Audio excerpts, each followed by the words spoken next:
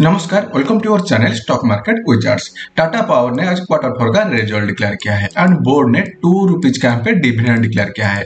अगर आप रिज़ल्ट देखेंगे एक्सपेक्टेड मार्जिन बाकी पैरामीटर ठीक ठाक है। जैसे कि नेट प्रॉफिट देखेंगे ईयर टू ईयर बेसिस के ऊपर थर्टी का जॉम देखने को मिल रहा है। एंड रेवेन्यू यहाँ पे 27.2 परसेंट का जंप देखने को मिला है। प्रीवियस ईयर में था 12,453 करोड़ का एंड इस क्वार्टर में आया है 15,846 करोड़ का।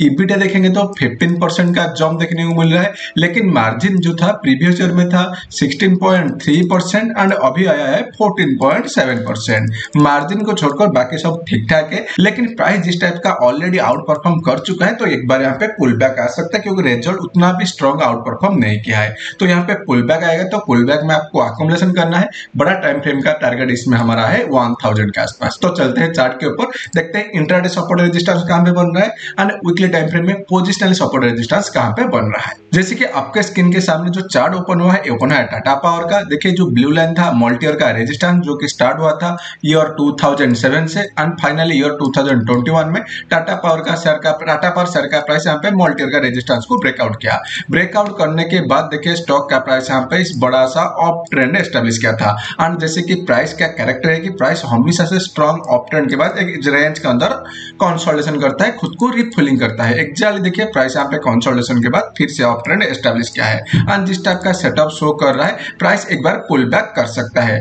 अगर पुल बैक करेगा तो वीकली जो उसका पोजिशनल सपोर्ट बन रहा है, वो बन रहा है नियरली 315 के आसपास। अगर इस लेवल को टेस्ट करेगा तो प्रोबेबिलिटी हाई है कि यहाँ से बाउंस आ सकता है। ये तो हो गया पोजिशनल व्यू अगर डेली टाइम फ्रेम में देखेंगे इंट्राडे सपोर्ट रेजिस्टेंस कहाँ पे बन रहा है? इंट्राडे सपोर्ट काल के लिए बन रहा है नियरली 420 यहाँ पे इंट्राडे का सपोर्ट मिलेगा एंड रेजिस्टेंस बनेगा लाइफ हाई जो कि बन रहा है नियरली 464 464 एंड 420 इंट्राडे में अगर नीचे आएगा तो 420 के आसपास आने के बाद सपोर्ट मिलेगा बाउंस करेगा एंड 464 से रेजिस्टेंस मिलके नीचे आएगा। तो in between according to this level आपका स्ट्रैटेजी को आप प्ले कर सकते हैं, क्या?